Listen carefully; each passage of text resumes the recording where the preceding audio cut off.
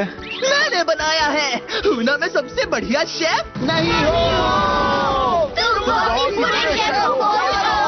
क्या सच में? लगता है मैंने कुछ ज़्यादा ही नमक डाल दिया।